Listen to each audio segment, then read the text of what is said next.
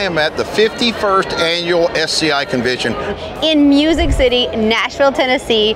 Nashville welcomes us with open arms. We welcome all the members of SCI. The entire global hunting community is here. From all over the world, we've got a lot of the same passions and loves for the outdoors. There's not a better place. The best outfitters in the world are here. The best market for the hunting industry is just to come to SCI and give you a chance to meet the best hunters of the world. We have the folks that are going in safaris in South Africa. We got the guys that are chasing giant mule deer and elk in Utah. All the guides that are up and coming. One of the really cool things is getting to see all the young ladies that are coming out. And there's a lot of women out here booking hunts, buying new guns. And we love to see such young faces, people taking their families hunting. I've been coming to SCI for the past three years. It's really important for young hunters to get involved in SCI. SCI is really going to help us preserve hunting for future generations. It's a great show. There's everything here. If you're not here, you need to be here. This is the place to be. SCI. SCI. SCI. SCI. SCI. SCI stands first for hunters.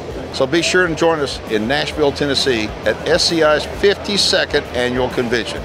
I'll see you there.